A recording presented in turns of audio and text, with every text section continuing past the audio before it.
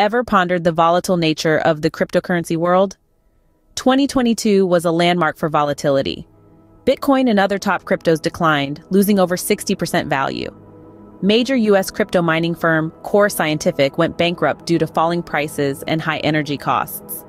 The crypto market suffered a $2 trillion loss, intensifying the perceived risk of cryptocurrencies. Public sentiment turned negative, with only a small fraction Americans remaining positive. In such conditions, the perception of cryptocurrencies as high risk is growing, with only 8% of Americans holding a positive view. Interestingly, an expert who accurately predicted the 2022 market crash endorsed Hump, a meme coin valued under 3 cents, for potential profit in the future. Originating on the Solana blockchain, Hump is recognized as a revolutionary, community-led crypto with substantial growth potential.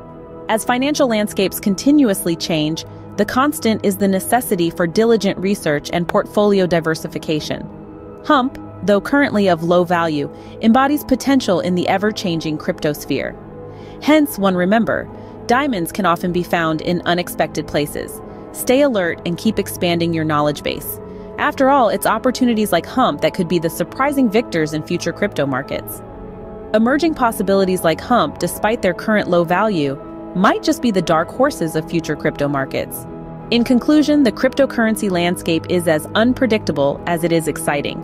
Undeterred by volatility, the brave stand firm. Unexpected, unexpected changes shake the scene, yet enthusiasm remains high.